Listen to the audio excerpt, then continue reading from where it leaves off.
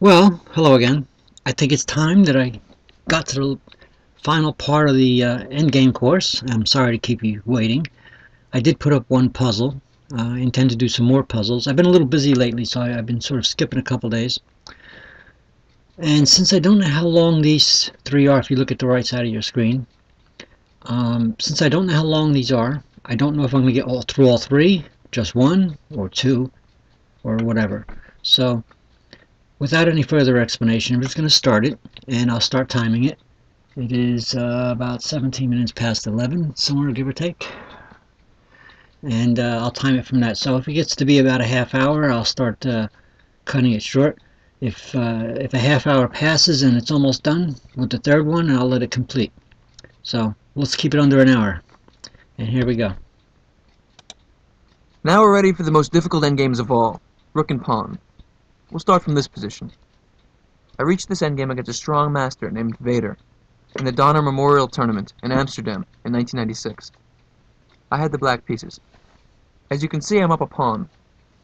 His rook is on the open line, mine isn't. In rook and pawn endgames, it's very important to have control of the open lines. I have a potential passed a pawn. His king is slightly more centralized than mine. I think he's but he has weaknesses black, on the so I'm going side. to flip the board. I'm sure you can see after the last few examples of a bishop opposite color endgames that he has the potential for two weaknesses. One is the g3 pawn, and one is the defense of my passed a pawn. This will be his problem. Black to play. What's your instinct say? What would you play first? One of the most important rules in rook and pawn endgames is that the rook belongs behind the passed pawn. A lot of players think that you should put a rook ahead and then move a pawn towards your rook. No. The optimal placement of the rook is behind the passed pawn. For that reason I began with a very strong rook a7. My next two moves, which can't really be stopped, are going to be b4 and a3, pushing the passed pawn. Remember this rule. Rooks belong behind the passed pawn. After rook a7, he played king d4, active with the king. I played b4, began to push it. He played rook g2. There's nothing to do but waste time. I played a3. The other rule of passed pawns is passed pawns must be pushed. These are two things that Bruce and I used to work on together. First one, put your rook behind the passed pawn. The second one, passed pawns must be pushed. a3, b takes a3. How do you take back? Of course, b takes a3 for two reasons. One, it's supported by the rook, and second of all, you want your pawn to be as far away from his king as possible. b takes a3 keeps his rook tied down to the defense. After b takes a3, he has to blockade. Rook a2. Now compare my rook to his. First of all, you see, I have all the scope. My rook can move up and down, maintaining the defense of the pawn, playing moves like rook a4 check, while his rook can't really go anywhere. If he moves away, then I just push my pawn and make queen. If he moves back, I'll immediately push my pawn again, making his position even more claustrophobic. His rook can't move. My rook can move with tempo. I can check him and move back. So what we see is that he's been successful in defending the queen side. My pass pawn has been blockaded. But his rook can't move. Now what remains is for me to activate my king and take advantage of his other weaknesses. Of course, the optimal square is for me to bring my king to g6, h5, and g4. If I get there, then I'm really going after his pawn on g3. So let's make a plan here. First of all, what's the best thing that can happen for me? His rook isn't going to move. Fine. If I try to bring my king to the queen side, he can stop it with his king. Bring my king, for example, to c6, he can play king c4. Bring my king to b6, he can play king b4. This way I'm allowing his king to stay helping the defense of his rook. This would be one way to try, but not the best. Optimally, I want to bring my king to the king side, force his defense to be spread out. It's also important to notice that if he decides to immediately run his king over to the queen side and win the pawn, bring his king to b3, and rook takes a3, then that rook trade will be decisive for me. Because inevitably my king will already be, for instance, on g6, and then I would have moves like rook takes a3, king takes a3, king h5 to g4, king takes g3, and all of his pawns fall, and I win easily. So what remains is that my plan is going to be to play king g6 to h5, and hopefully to g4. That's what I want to do. If my king gets to g4, he has to defend the g3 pawn. He'll place his king, for instance, on f2. Then I want to break through on the king side. I want to play the moves h6 and g5 force all the trades. King takes g5. Then I want to hopefully get my king back to g4. He can maintain that defense, but then I can play f4. force another trade. And after we trade that last pair of pawns, we see that he can't defend his pawn on e5. I'll take that. Then I'll have a 2 to nothing advantage, and I'll be able to win. Because my king can come to his rook. King d5 to c4. His king can't help because it has to stay defending the e-pawn. My king will come to b3, and I'll win. That's my long-term plan. Now let's go back and try to put it into action. It's very useful in endgames to make a plan, to envision what the optimal setup is, and then make it happen. I played king g6, king e3, king h5, king f3. Now, I want to bring my king to g4. We know that. But I can't play king g4, because the king on f3 is guarding the square. How can I get it there? How do you force the black king into the g4 square? Remember the device we used before? Zugzwang. White has no moves. His king is on the only square that covers g4. If his rook moves over, I push the pawn and win the rook. If the rook moves back, I push the pawn, and he has no more rook moves, and he has the same problem as before. The move g4 hangs both the g4 and the h4 pawn. He has to give up the g4 square, if it's his move. So I played rook a4. Waited a moment. He's in Zugzwang, he has to go back, king f2. King g4. Okay, so I've achieved the first two phases of my plan. The first was to get behind the passed pawn, push it down to a3, force his rook into passive defense. Did it. The second was to occupy g4 with the king. Did that. He played king g2. Do you remember what our next step was? Start breaking through the kingside pawns. h6. King f2. g5. Now obviously I have threats to win pawns both ways. He has to make the trades. Takes, takes. F takes g5. King takes g5. Now, he played king f3. Once again, I want to occupy the g4 square. How do you do it? Here I triangulated. I played king h5. I could have lost the tempo by moving my rook back, but I played king h5. If he moves his king, of course, I'll play king g4, and I've achieved what I want. He played rook h2 check. I played king to g6. He has to bring his rook back. Rook a2, and now king g5. I've lost the move. White to move. He has to go back. My opponent now saw that my plan was inevitable and he resigned. Why? Let's go over the winning plan again. He's got to move his king, say king e3. I play king g4. He has to defend the pawn, king f2. I play f4. He has to take it. G takes f4, king takes f4. Now he can't defend his e-pawn with rook e2 because I would play a2. He has to play king e2, I play king takes e5. And now I have two pawns. Let's try to defend with white. King e3, king d5. King d3, e5. Now he has a question. If he plays king c3, I can just push my pawn, e4. Slowly but surely, I'll push him back. Say he played king b3, attacking the rook. I play rook a8. White could try a last-ditch attempt to trade places of rook and king. He can play rook d2 check, king e5, and then do the blockade with king a2. Notice that I was threatening to play a2, immediately trade off rook, and then win the king and pawn game. If he plays king a2, it's okay. This isn't that any better. Now I play e3, rook e2, king e4, the rook can't stop the pawn. My king easily wins the game.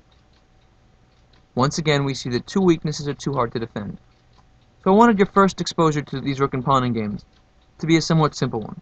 I was up a pawn, I used the basic principles, I got behind the pass pawn, I pushed it, I tied his rook down to the defense, then I focused on the other side of the board. I put my king to g4, I put him in Zugzwang to force my way in, I traded down, simplified, and he resigned because he was going to lose the second pawn, and his weaknesses were too much to hold on to. This is a very good example of how to win a technical rook and pawn game. Now we're going to take a look at more double-edged ones, where it's more of a fight. Well, that was relatively quick, so right away, without saying much. Number two. So far, the rook and pawn games that we've looked at have begun in a defined pawn structure. This game is different. We just made the transition into the endgame. I'm up a pawn. My opponent was a young French grandmaster named Etienne Bacrot, a very talented player. I have the black pieces, he's white. We played this game in Bermuda, 1999. As this endgame develops, I want you to notice the pawn structure. Again, I'm going to notice the structural decisions, and I want you to feel the competitive moment. Watch how I repeat the moves, how I pressure him, how I slowly increase my advantage and try to convert into the win. He began with rook c1, trading the b-pawn for my c-pawn. A good decision as, the act as to activate his rook. I played rook takes b2, rook takes c5. Usually a rook on the 7th rank is very, very dangerous. Bruce Pandolfini used to call a rook on the 7th a pig, because it has a way of gobbling up pawns, and it also limits the mobility of the other guy's king. A very good weapon. But now, he's threatening to play rook c7.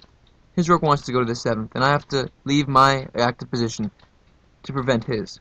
If, for example, he would be allowed to play rook c8 check, king f7, rook c7 check, I'd lose my a-pawn, and all my advantage would go away. I have to stop that. I played rook b7. He played rook a5, king f7. Now his rook is very active. He has some compensation for the pawn. King f2, king f6, centralizing. King f3. Now I want to fix his kingside pawn structure. Create weaknesses. I played the strong move, h5. Now this is only possible because of his last move. The king being on f3, if he plays rook takes h5, then I'll immediately play rook b3 check, the king moves, and after rook takes a3, I have two passed pawns. Once again, we feel the principle of two weaknesses. Two passed pawns for him to deal with is very hard. So my h5 pawn was indirectly protected by my tactic on his a3 pawn. My next move is going to be h4. I want to tie down the weakness to, on g2.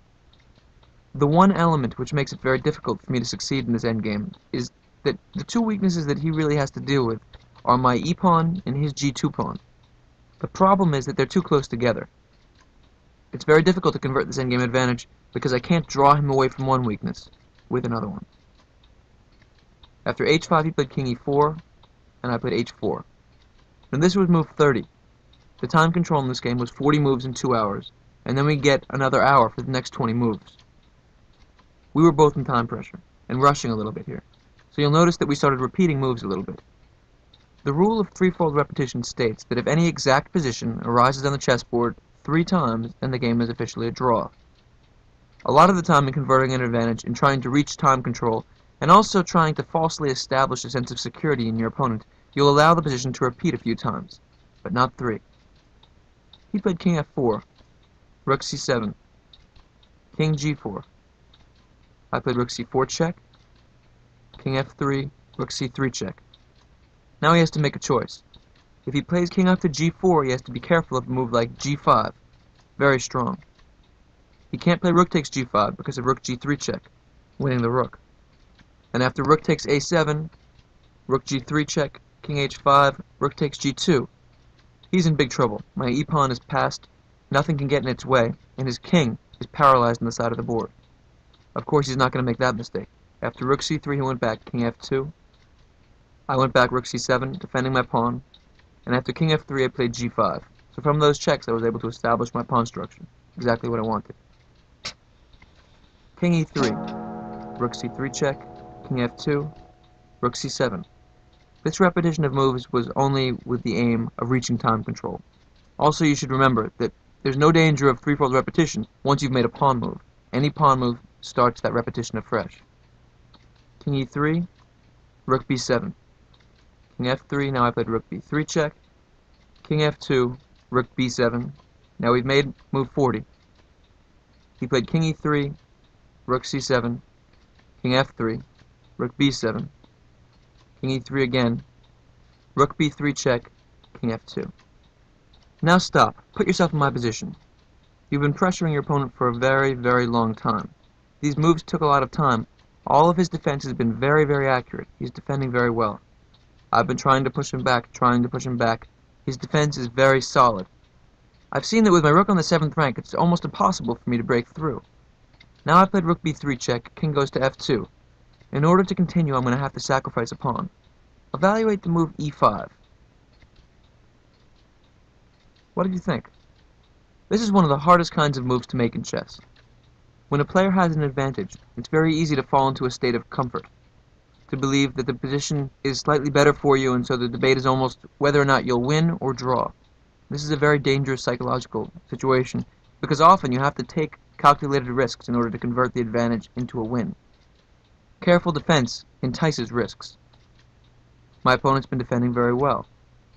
e5 was a hard decision to make, but it was a good one. I sacrificed my pawn. Suddenly I'm no longer up material. He has an outside pass pawn, but now my king can get into the game. Notice a big problem with the endgame before was that my king was cut off from the struggle. If I could get my king to f5 and f4, it would be very good for me. But there was no way to do this. With his king on f3, if I play e5, he can always play the move king e4. I don't of the move rook b4 check because the a pawn covers that square, and his next move can always be rook a6 check, forcing me back. So here I took the risk, e5. Now things get very tense. We're in the sixth hour of competition. A lot of pressure. I've had a better game, a better game, a better game, and now I've sacrificed a pawn, taken a risk. This is when things get really tight. Rook takes a7, king f5. Now I'm sure you see my plan. My idea is to first drive his king back to the first rank, then push my king maybe up to e3 or g3 and start moving with my e-pawn. I can even mate him. Think for example if my king is on f4 if I play rook b2 check if he goes back to g1 after king g3 he's in big trouble.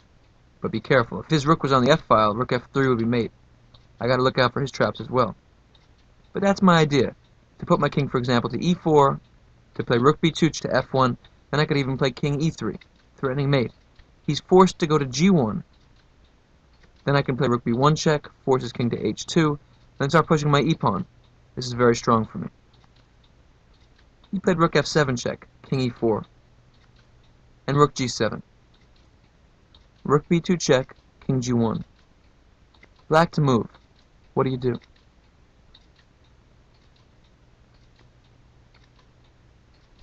It was in this position that I threw away the win. I had played the endgame very, very well, forcing him to defend, to defend. I made him think that he might have had the draw in hand, and then I sacrificed a pawn, so he had a sense of security finally, and then he had to begin the battle anew. This is a very, very important psychological trick. By repeating the moves, you can make your opponent lose presence a little bit. Now we've reached this position. He attacked my pawn on g5. Here I lost time. I played king f4. My idea was that I'm threatening king g3, he has to check me, and then I can play the king to e3, preparing e4. This was a critical mistake because I allowed his rook to force its way behind his own passed pawn. But first let's look at what I should have done. After rook g7, the key to winning will be to sacrifice yet another pawn. The move king d3 was terribly strong. After rook takes g5, I would play e4. Now of course I have the threat immediately of e3, rook b1 check, and then after king h2, e2 and e1. He has to do something about that. He would play rook d5 check. Then I have king e2. Again, threatening rook b1 check. The pawn is coming. This position is completely winning. Say he plays rook h5, goes after my other pawn. I play rook b1 check, king h2, e3. Now if he takes my pawn, I can just move my king out of the way. He has to sacrifice his rook by playing rook h8, e2, rook e8. But then after e1, rook takes, rook takes. The position is easily winning. He does have three pawns, but my king can easily blockade one while the rook goes after the other. For example, if he plays h4, I play king e4. And then after king h3, I can just play king f5, followed by king g6. I take his pawn with my rook, and then in this kind of position, it's very easy to win. I just pin him, for example, drive him back slowly, and then take the pawn. This would be a very easy win. So the way to win this rook and pawn game involved the sacrifice of two pawns. I had to move from being up material to down material. That's a very difficult thing to do psychologically when you're trying to convert an endgame because you want to convert the advantage while maintaining control of the position. Sometimes this is impossible. Rook and pawn games sometimes require inspired decisions. Take a look at what I did instead. I played king f4. I thought this would also be winning, threatening king g3. My impression was that he would be forced to check me, and I would just gain a tempo. My king would be one square further up the board, and he'd have to go back to g7. I missed something very important. He had the move rook f3 check. And after my king moves to d4, he played the very strong rook f2, offering a trade of rooks and forcing his way behind his passed pawn. And now all the themes we've been looking at come into one. First of all, psychologically, in the moment when I was closest to the win, I made my big mistake. I relaxed a little bit. When you start to think about the result, often in competition, you lose presence. Also, we see the theme of rooks going behind the passed pawn. The point is that he wants to ideally maneuver his rook to a2. If I play rook b3, he immediately plays rook a2, defends my pawn's advance from the second rank, and begins to play a4, a5, a6. If I play rook b1 check, he plays rook f1, blocks it that way. I can't trade rooks, obviously, because he has the outside pass pawn, and he can blockade my pawn with his king, move his pawn, take my pawn, and eventually win the endgame. So I have to avoid that. I would have to now go rook b3. But then he would play rook a1, and we'd have a big problem. e4, a4, e3. The king can now come king f1. He blockades with his king and pushes his pawn. It's a draw. When he played rook f2, he offered me a draw, and I thought for some time, tried to figure out a way out of it, and I had to agree. I missed my chance. The key moment was the sacrifice of the second pawn. I let his rook get back into the defense, and there was no way to win. If you feel like it, analyze this endgame out. Make sure you understand why it's a draw. Okay. Well, it hasn't been a half hour yet. So, in this one, Josh has said that he threw away the win. That was very interesting. Let's see what he did in the third example. Obviously, we have enough time to play it. And then the next time it'll be the psychology of competition and annotated games. But any case, here's the third part of this rook and pawn ending. Watkin, Waitkin versus, how do you pronounce that name? Grimali? Yeah, that's Grimali. Here we go. Now we're going to take a look at a different kind of rook and pawn game. The last one was technical. I was winning, and I controlled the game. This one is a race, a fight, a struggle. It's a double-edged battle where both players have chances. It was played in Bermuda in 1998.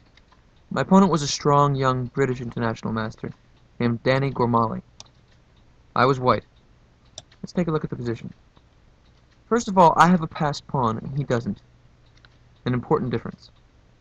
His rooks are basically defensive. Their job is to blockade my c-pawn, stop it from going. He has to also watch the a-pawn. If he loses the a5 pawn, for instance, if he were to play here, rook takes f4, after rook takes a5, I will have two very dangerous passed pawns. Can't allow that. We're going to enter the struggle in a key psychological moment. He played the move rook fc5 and offered a draw. Now I had been pressing for a win the whole game. I had a very small advantage. He had been defending well. This position should be objectively drawn. The draw offer is a very interesting psychological moment in competition. What often happens to a player is that when he's prepared to offer a draw, in that moment that he believes that the game has actually become drawish, or even if he's just hoping that the opponent will accept the draw. There is a tendency to relax, because of the offer of draw, to subconsciously give up the struggle a little bit. And this, I believe, is what happened to my opponent. He had been defending very, very well. And on the move that he offered to draw, he made an imprecise move. Playing rook fc5 tied him down to the defense too much. The correct maneuver would have been king d6 to c6, the move king d6 immediately. This way, the rook on f5 could tie me down a little bit to the defense of the f4 pawn. His king could blockade the c pawn, and he should be able to generate a little bit of activity. After king d6, I probably would have accepted the draw. But he played rook fc5. An error. Keep this in mind when you're playing games. If you offer a draw, the game isn't over. Your opponent has to accept it. Keep the fight until the fight is over.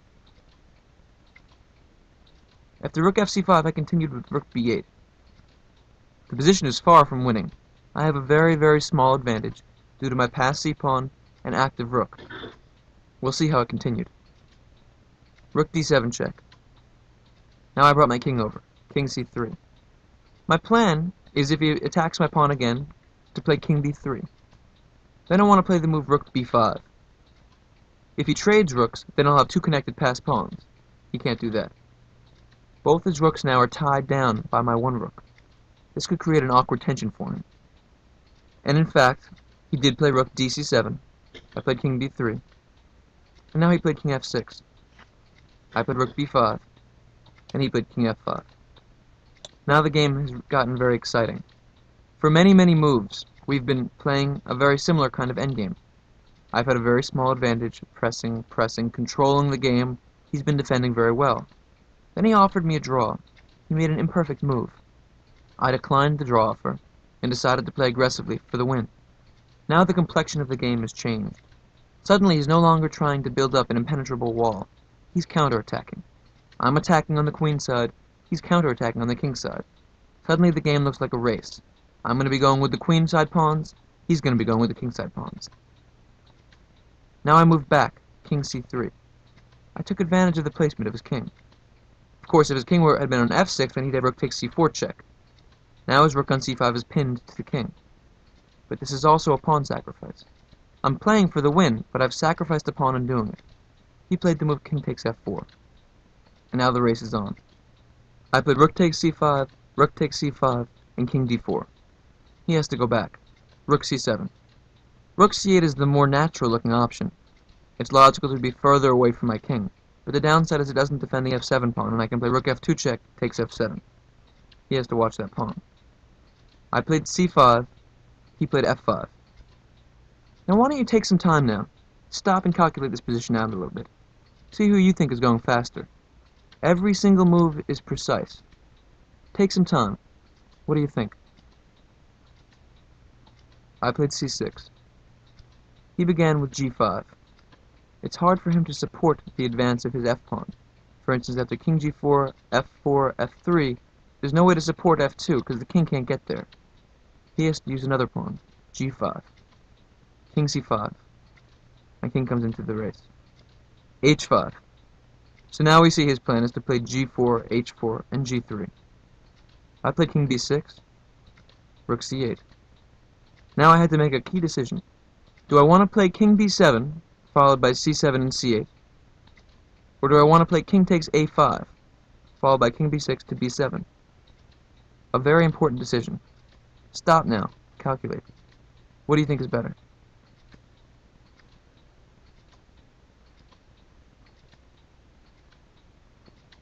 I played king takes a5. King b7 was also sufficient to win, but it wasn't quite as precise. Rook f8, c7, g4. Now, first thing you have to notice is that if white tries to not allow the black rook to sacrifice itself for the pawn and play rook d2, it doesn't work, because after rook d8, black can always play rook f7, pinning the pawn and sacrificing next move. White has to play c8. Rook takes c8. Now in the game, I played king takes c8, but this would be a big blunder now, because I'm behind in the race. After h4, king b7, g3, king b6, king g4, king takes a5, f4, king b4, f3, a5, f2. Black's gonna queen first. After rook c1, g2, I'm in big trouble. I can't take back with the king. So I would have to take back with the rook. Rook takes c8. Now h4. King b6. There's another variation which is interesting, and since we're analyzing, we might as well analyze deeply. I could play rook h8, which is logical, because the rule rooks belong behind passed pawns applies both to attack and defense. The best place to defend a passed pawn is also from behind.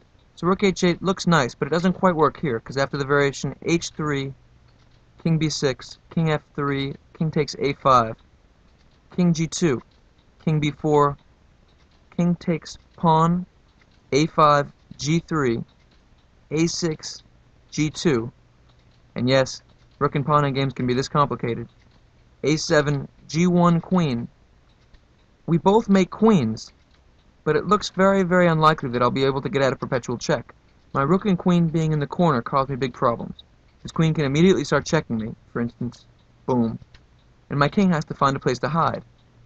I can't even interpose with my queen, is a very important detail, because if I do, if we trade queens, imagine them coming off the board, then black can just move over his king and then push his pawn and win my rook. The only way I could hope to win this position would be to somehow get out of the checks and then attack him with my rook and queen, but that's not going to happen. This should be a draw. So rook h8 doesn't work for that reason. King b6 g3. H takes g3, H takes g3, king takes a5, g2. Now stop.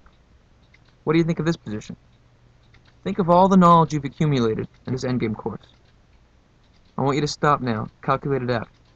What's the evaluation of this position?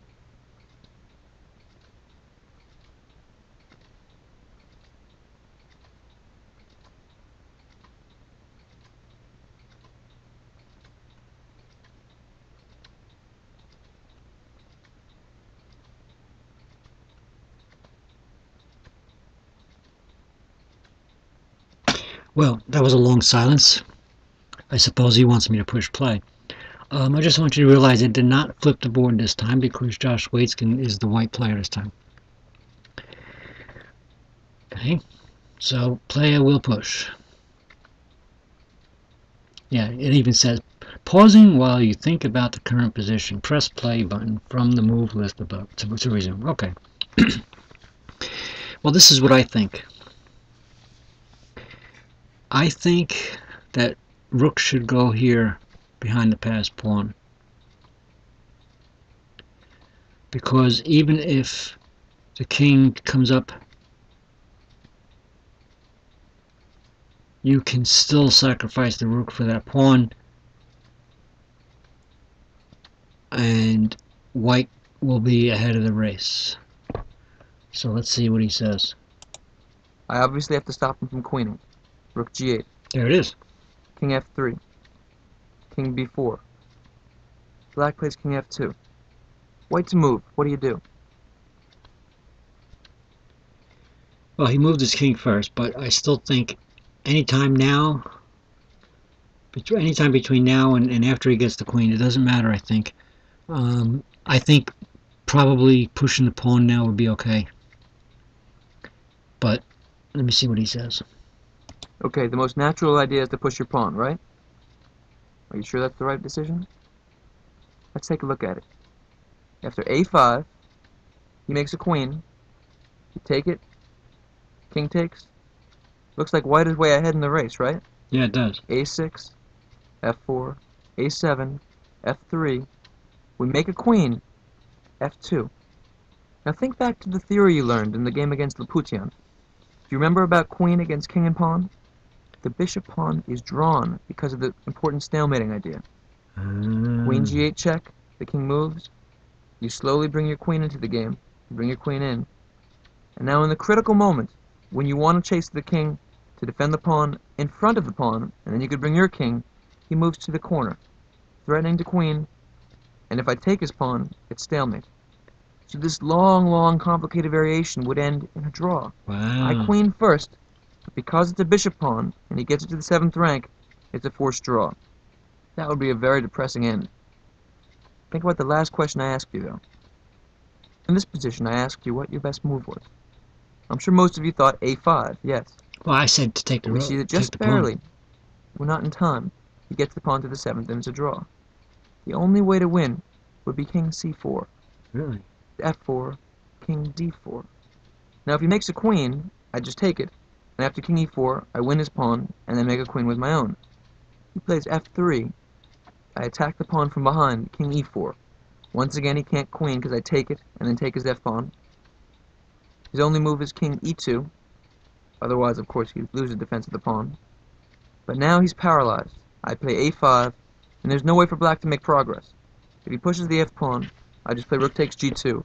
Hitting the pawn, my next move will be rook takes, and then I make a queen and win the game. This is how hard rook and pawn endgames are. Don't be afraid to calculate.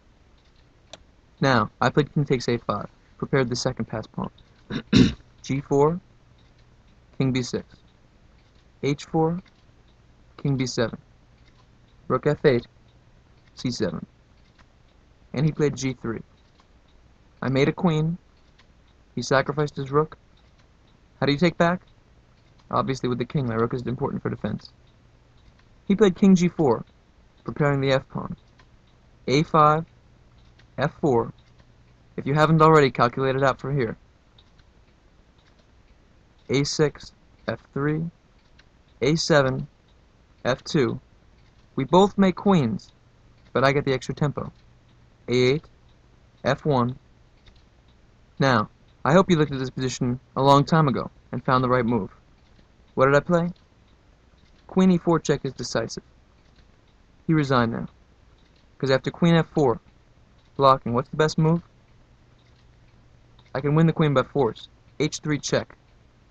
If he plays king takes h3, I play queen takes queen. If he plays king g5, after rook check, now it's all over. He can't defend the queen. If instead he plays king h3, what did I have in mind? Queen e6 check. The only way to stop mate is to block. Queen takes f5, checkmate. His only last attempt is to bring his king into the open board, but now it'll end very quickly. After rook c5 check, the king has to run, the queen can check, the king has to run. It's forced mate now, I'm sure you can do it from here. For example, rook g5 check, the king goes to the corner, now mate in 2, queen g8 check, king h6, and queen g7 or queen g6 will be checking. So the rook and pawn endgame moved into a race, which moved into both of us queening, me queening a tempo ahead. I had the rook, and so I immediately was able to check and force mate. A lot of the time, when you move into a queen endgame, there's a chance for the defender to try perpetual check. But in this case, I queened first. And that is it. well, that was very interesting. I would I wouldn't have thought about moving my king first. But in any case, there you have it. I hope you enjoyed this video. Please subscribe. Please comment with your questions or comment with what you would like to see. I will be sticking uh, some puzzles in between these videos. Um, but let me go back for a minute. As you can see, the next one is the psychology of the competition, and what this is, is a handful of games. I haven't played these, I mean I haven't, yeah, I haven't seen these yet, so I don't know how long they are. But uh, that'll be the next, start in the next videos. You know, if I play a, tr a trap or a uh, puzzle in between, that's okay too. But we'll see. In any case, keep on playing.